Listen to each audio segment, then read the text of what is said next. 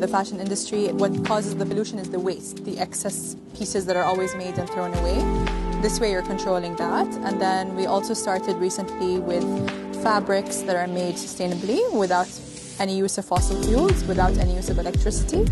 I hope this introduces the youth also to sustainability in fashion as well.